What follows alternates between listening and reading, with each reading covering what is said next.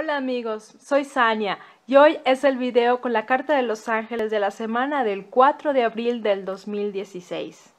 Recuerden que solamente hago una interpretación de las cartas. El contacto que se hace con los ángeles es de corazón a corazón, con la mente, se siente, son vibraciones y nos llegan los mensajes. Por favor, quien desee escuchar, cierre sus ojos, haga una pequeña oración invoque los ángeles y también al final den las gracias. Recuerden que ustedes tienen la última palabra y la decisión la toman ustedes si quieren creer o no.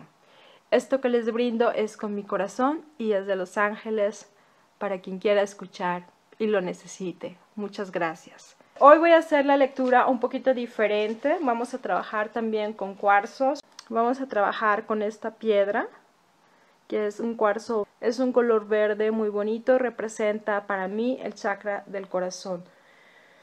Entonces hoy vamos a trabajar con el chakra de nuestro corazón que está en verdad llegando a tiempo. Son tiempos de cambiar, de amar, de abrir nuestro corazón, amarnos a nosotros mismos, sobre todo perdonarnos, perdonar a todos, sanarnos, sanar a la madre tierra darnos amor. Así que está muy adecuado la piedra del chakra del corazón. La primera. Hasta el final las voy a, las voy a interpretar, pero ahorita aquí las voy a elegir. Aquí salieron dos, entonces ya tengo las tres. Esta es la parte de atrás. Están muy lindas las cartas y voy a comenzar. Les enseño la primera. Aire fresco, quiere decir. Bueno, hay que salir a la naturaleza, los ángeles nos dicen, los ángeles nos dicen que salgamos a la naturaleza, que seamos niños curiosos, que inspeccionemos, que curiosemos, que corramos al aire libre, que salgamos y trepemos los árboles, y hace mucho que no lo hacemos, los abracemos también. Recuerden que estamos trabajando con el chakra del corazón, entonces esto de tomar aire puro es refrescarse, refrescarse la mente, el corazón, las vibraciones, sacudirse de lo que ya no nos sirve en esta vida para avanzar, para evolucionar. Hay que tener más contacto directo con la naturaleza, apagar los teléfonos, desconectarnos, apagar el televisor, salir a correr, andar en bicicleta. Algunas de las personas que me conocen saben que yo soy viajera y que he viajado en bicicleta y aún lo hago entonces es muy sanador salir al aire libre, estar en contacto directo así con la naturaleza, sentir el viento, el sol, la lluvia, lo que esté sucediendo allá afuera. Sal y siéntelo, vívelo y deja que esa vibración tan alta de la naturaleza te envuelva y envuelva tu corazón. Ese es el mensaje de la primera carta, ser libre, salir, salir de donde tengamos que salir para vivir en libertad y amar completamente. Amarnos a nosotros para poder amar a alguien más. A los demás, nadie en especial. Uy, la segunda carta, escucha, escucha. Hay que callar.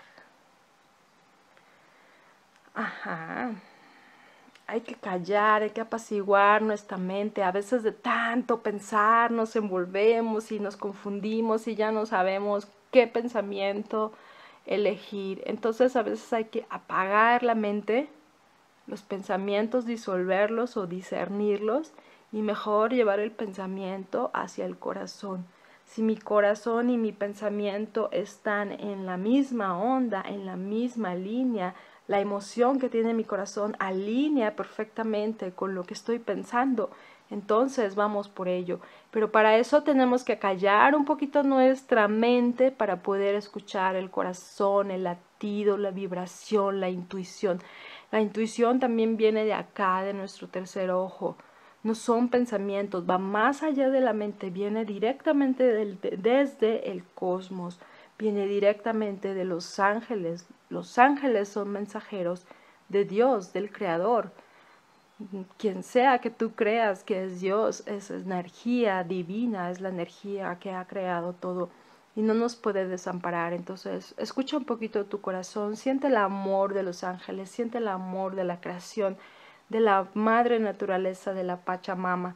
Este es un tiempo de energía femenina, está despertando, así que encomiéndate a la energía femenina, despierta tu energía femenina, alíneala con tu energía masculina. Todos tenemos esa dualidad.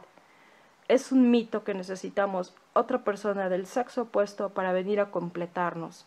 Claro, es muy bonito y a veces sí llegamos a complementar con una persona en específico, pero también es cierto que llevamos esa dualidad por dentro, llevamos el lado femenino y el lado masculino, todos los seres humanos, así que hay que balancear, equilibrar, escuchar el corazón. Tercera carta. Wedding, una boda, una boda. Bueno, esta me salió hace poquito, creo que el mes de febrero salió esta carta y bueno, vuelve a salir, es una boda. Y bueno, puede ser una boda con uno mismo, contraer el compromiso con uno mismo, renovar el compromiso con uno mismo, con nuestra filosofía de vida, con nuestra forma de vivir, con nuestra forma de actuar. Hacer a un lado lo que ya no nos sirve, lo que ya no vibra en nuestro corazón para poder amarnos, para poder amar y llegue, si estás buscando una pareja, llegue esa persona que quieres amar. Y si ya tienes a alguien a quien amar, pues también sacudir y renovar ese amor para que a lo mejor este es el tiempo de una boda. Puede ser que si no tienes pareja, pues sea una boda contigo misma, contigo mismo y amarse y quererse, amarse, quererse, acariciarse, complacerse uno mismo es lo más lindo porque de ahí parte todo, el amor universal parte con uno mismo. Las tres cartas van muy de acuerdo con la piedra de nuestro chakra del corazón. Pueden utilizar cualquier piedra. Si ustedes ponen la intención en esta roca y pueden trabajar con ella, dejarla cargar al sol, a la luna, a las estrellas, al aire, en la montaña, salir al aire libre, llevarse su piedra y cargarla y cuando regresen la ponen en su chakra del corazón, hacen una pequeña meditación de 5 o 10 minutos, no necesitan estar ahí meditando horas y horas, sino la intención, la mente y el corazón alineados, relajamos, respiramos tranquilamente y vamos a recargarnos y a sentir ese amor, abrir, sanar nuestro chakra del corazón para poder sanar el chakra de la madre tierra y de todos los que nos rodean. Pues este ha sido la lectura de las cartas de la semana del 4 de abril del 2016.